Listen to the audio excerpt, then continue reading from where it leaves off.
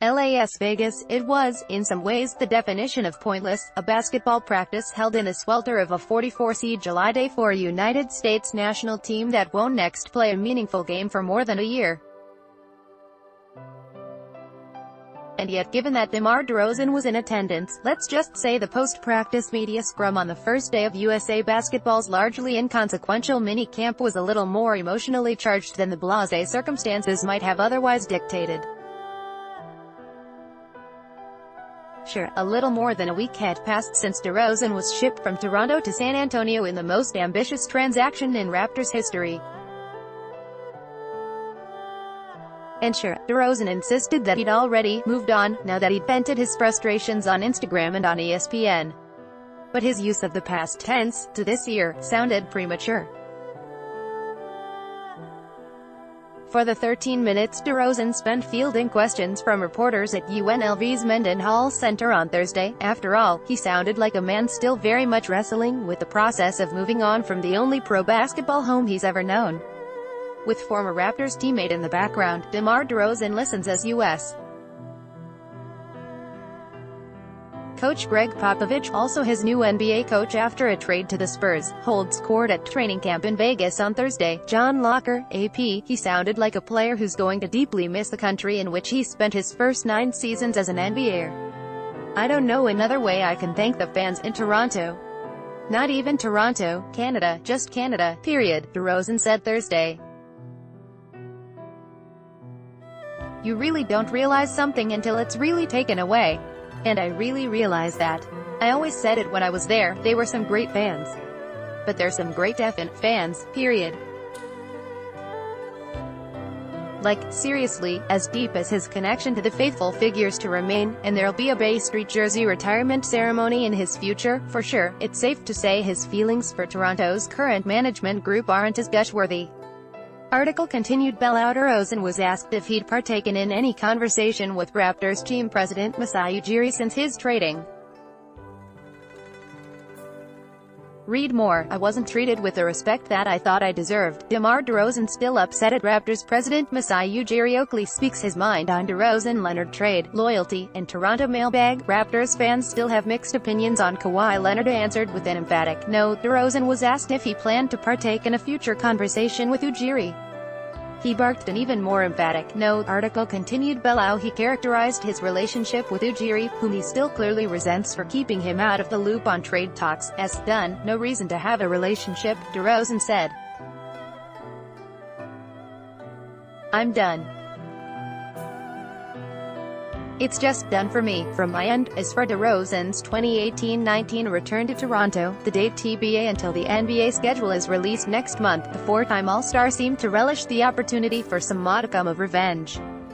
Boston and Philadelphia might be the Raptors' biggest threats to Eastern superiority in the coming season, but you can make the case nobody's going to be as desperate to beat the Raptors as DeRozan and ex-coach Dwane Casey. The exiles of Ujiri's discontent, it will definitely be a date circled on the schedule, without a doubt DeRozan said.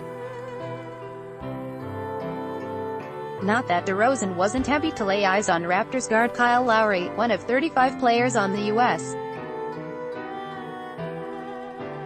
roster that'll be cut to more manageable numbers in the lead-up to the 2019 FIBA World Cup of Basketball. Kawhi Leonard, the key piece of the deal that sent DeRozan to Texas, is among the U.S. roster players who declined to attend minicamp, putting him in the no-show company of LeBron James, Steph Curry and Draymond Green. DeRozan said Lowry, even though he's no longer an NBA teammate, qualified as a welcome sight, just to see one of your closest friends, laugh with him, joke with him, you just get a different feeling.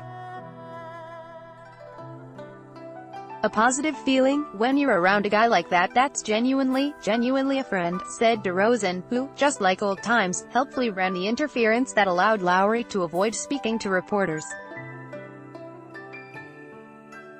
I mean, it was a rough week. It was extremely hard, but Tuesday, my reason of what I did by venting on social media, was that, to speak out for myself and leave my words out there and move on. One day soon, this business of moving on will happen. As it is, on Thursday DeRozan was asked if he feels like a Spur, not fully yet, but eventually I will, he said. I haven't been out there. Once I get out there and get acclimated, I'll definitely start to feel it. Even if this week's mini camp isn't taking place in San Antonio, it has Spurs touches. Gregg Popovich, the San Antonio coach, is the newly installed head coach of the U.S. team, this after Mike Krzyzewski's swan song at the 2016 Olympics. Popovich spent an outsized amount of time with DeRozan during Thursday's hour-plus workout. And though the coach refused to answer a question about coaching the ex-Raptor, boorishly insisting he'd only speak on topics related to USA basketball, as if DeRozan isn't a longtime member of the U.S. national team. DeRozan spoke glowingly about the opportunity he's been afforded by the trade. It means everything to play for Popovich in San Antonio, he said. I could have ended up in the middle of nowhere with Joe Blow, and I ended in a great place that wanted me that strives for greatness. You can't ask for nothing better than that. Not that he's preparing to send Ujiri a thank you note for orchestrating the transaction, I mean, I'm grateful. I said when I signed my extension, I expressed me being grateful to Ujiri. I'd never take that away from anybody, DeRozan said. But with that, one thing can tarnish that all. That's how I am. It's like if I tell you I'm your friend, but when everybody else comes around I do something in front of everybody that makes you feel some type of way, you're going to look at me like I wasn't your friend. Everything before that's not even going to matter. It's time to move on, and I'm moving on, moving on, sure, but still yet to arrive at a place of peace. Dave Feschuk is a Toronto-based sports columnist. Follow him on Twitter, at DFeschuk.